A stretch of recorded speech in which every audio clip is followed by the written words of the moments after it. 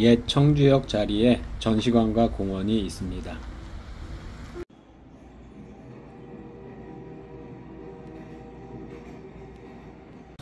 제가 학생일 땐 사람들이 많이 오던 곳인데 요즘은 한산합니다. 청주 10대 현대 건축물 중 하나인 학천탕이 있습니다. 학천탕은 88 올림픽 주경기장 등을 설계하신 김수근 건축가에 의해 설계되어 88년 완공된 8층짜리 건물로 당시 목욕탕 건물로서는 국내 최대 건축물이었습니다. 현재는 목간 카페로 리모델링 되어 사용되고 있습니다.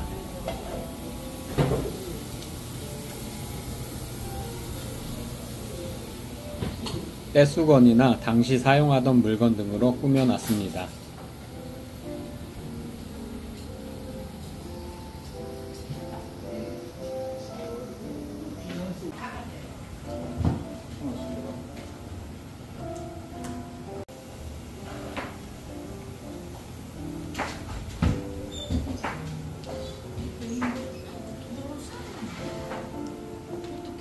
我去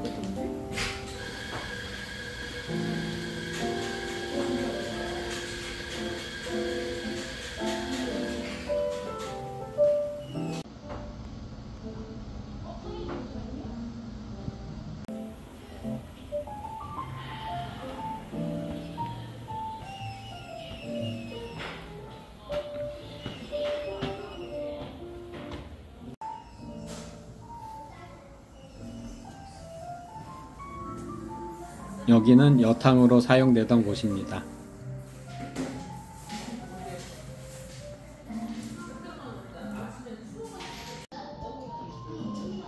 타일과 샤워기 등으로 꾸며놨습니다. 밖이 보이지 않는 게 아쉬웠습니다.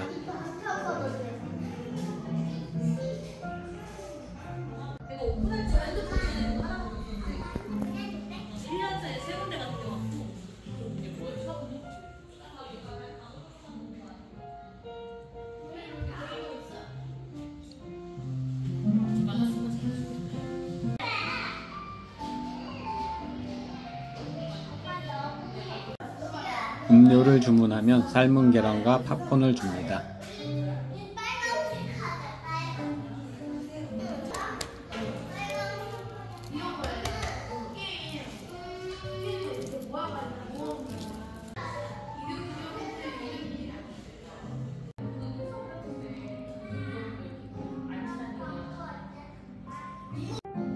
사우나 앞 냉탕으로 사용하던 곳 같습니다.